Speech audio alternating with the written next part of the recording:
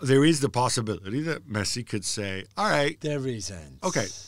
There's a theoretical possibility. I said that it's about as likely as Liverpool not winning the Premier League this year. Um, that Messi says, "All right, screw this. If I don't get my way," the Messi does one of two things. One may be more realistic.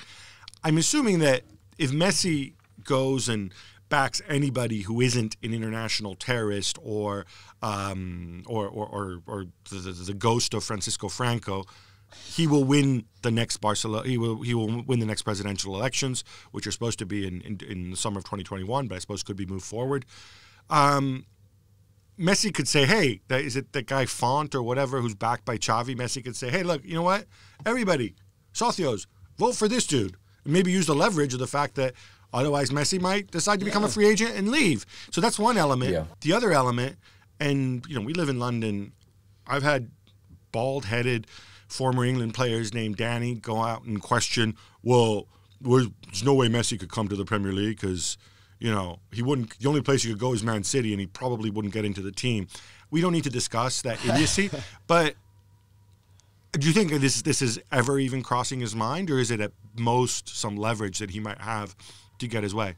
Well, in a way, that leverage is always there, even if it's not even if it's not directly exercised, and it's always there in the sense that, of course, and this is this is genuinely part of the problem that that Messi obviously says, don't I don't want to be, you know, I don't want to be blamed for these signings because it's not me that's done them, it's not me that's pushed this, but of course.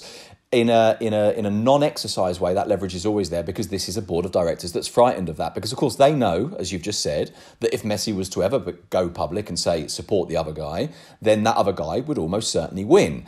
Um, uh, you said anyone except an international terrorist. I think football has probably demonstrated that fans probably wouldn't even care very much about that either.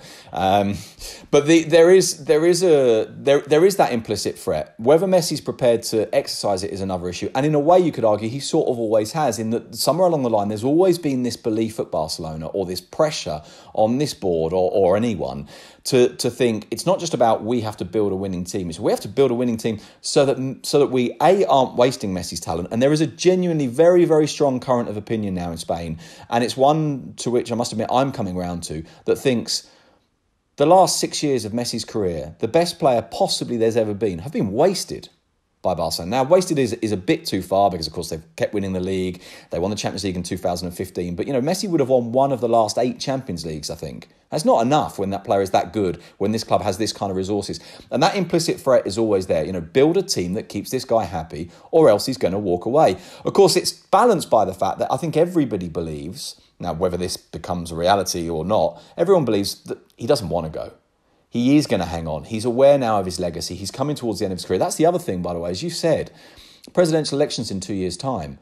At which point might this all be too late? You know, at which point Messi's going to be coming up to thirty. Well, be, would be for thirty-four by then, and you think, well, that's the end anyway, isn't it? Well, that Cristiano guy's older. He's doing okay. Totti Yeah, played different type of player, but yes, No, yeah, no, mean, no, of I take your mean, point. It's, it's plausible, but but it, but it is. I mean, and genuinely, of course, Messi himself is the one that has woken us all up to this. He's the one that at the Ballon d'Or says, "I'm coming towards the end," and of course, once that phrase is out the box, it won't go back in again. And you only have to see the way that Barcelona responded to that, where where the response from the president. From the president, as if he's got anything to do with this, was to say, "No, no, it's, it's fine. There's, there's plenty of Messi to go around. There's plenty of Messi for a few more years yet. You know, I, I Messi para rato was the phrase. You know, there's there's lots of Messi still to come. Well, actually, no, there isn't. And also, by the way, pal, it's not your decision whether or not there's lots of Messi still to come. I don't know. I, I, I kind of feel trincado personally if uh, if Messi were to were, were to leave. would Sid, do. thanks so much, Pleasure. Cheerio. Juls. I don't want to go. Uh, ev- everybody has an opinion. We've said stupid things. I've certainly said stupid things. But you know who I'm talking about. It's a former short, bald, former England player named Yeah, Danny, yeah, yeah. who's not Murphy. But there's also a former French What- player with a you know long hair and ponytail who also said that, unlike Cristiano, Messi couldn't do it in England.